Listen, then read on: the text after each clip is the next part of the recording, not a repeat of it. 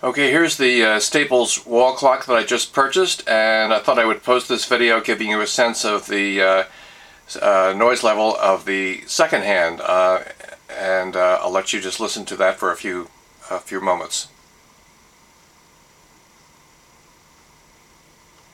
Now I'm standing right on top of this clock basically, and when I'm at my desk uh, uh, six feet away in front of my iMac, um, I cannot hear it at all. The fan on the computer is actually a lot noisier than this. So uh, when it works, it works beautifully.